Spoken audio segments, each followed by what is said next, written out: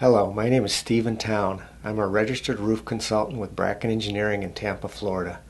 Over the years doing roof assessments, I've noticed an often overlooked but very important aspect of roofs, and that is proper drainage, particularly those low slope roofs of box buildings which often have parapet walls that can trap water. Inadequate drainage off the roof can result in maintenance problems such as growth of plants, degradation of the very important waterproofing membrane. More importantly, it can result in safety problems. Worst case, a roof collapse which can cause fatalities. Roofs have been known to collapse simply due to newspapers having been thrown on the roof and blocking the drainage system. Locally, a roof collapsed because during the re-roof, the secondary or emergency drains were covered over. Apparently the contractor didn't feel they were important.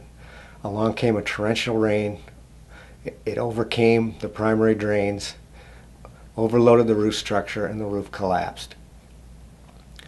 That's why building codes and design standards have certain stipulations regarding roof drainage.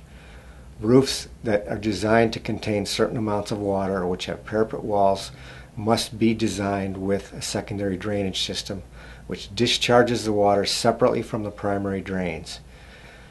The roof therefore must be designed to compensate for that additional load brought on by the water which may build up to reach the point where it can drain out the secondary drains.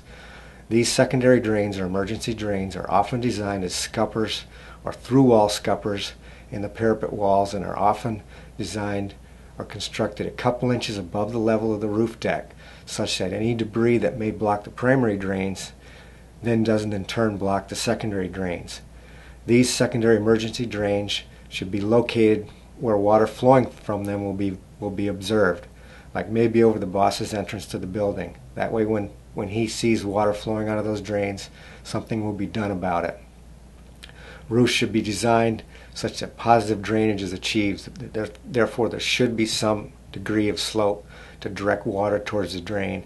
And drains, primary drains, should be equipped with strainers to prevent debris from blocking them. Proper maintenance and proper drainage go hand in hand. These low slope flat roofs, box, box building roofs are often out of sight, out of mind, and they don't don't get enough attention or are not inspected on a regular basis. Therefore, these roofs should be inspected at least twice a year. They should be kept clean, and you shouldn't allow others to leave their junk on your roof. I've been on roofs that are covered with leaves, have plants growing. I see various debris such as cans, bottles, dead animals, tools, clothes, what have you. So if you don't want your roof to collapse, build it right, make sure it drains, and keep it clean. If you have any questions or would like more information, feel free to drop me a line. My email address is stowne, T-O-W-N-E, at brackenengineering.com. Thank you.